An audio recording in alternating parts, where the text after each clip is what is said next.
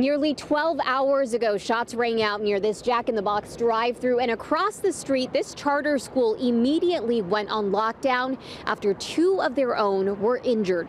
As police swarmed at this intersection in Van Nuys, students and teachers locked themselves in classrooms at Champs Charter High School. Just hear two loud bangs and I immediately knew there were gunshots, so I just picked up my bag and everyone just ran to classrooms. A student and teacher were struck by gunfire. Police say they managed to walk back to campus and were taken to hospitals. Kayan Quinn told us she and classmates were shocked as they watched the injured student broadcast live on Instagram from the hospital. Bro, you okay? Yeah, I'm chilling.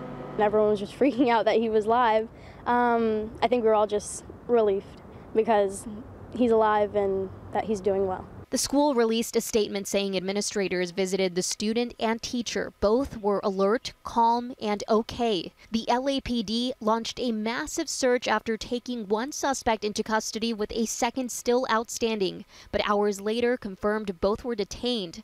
Dozens of parents able to breathe a sigh of relief after rushing to the school. I just told my coworkers I'm leaving. I gotta go and see what's going on. Quinn and some of her classmates were on social media and talking with the press during the afternoon lockdown, saying she did it because it's important to raise awareness about gun violence. This is happening a lot everywhere, and I think it's just something that people need to take part in to spread around the world because it's a issue that needs to be solved.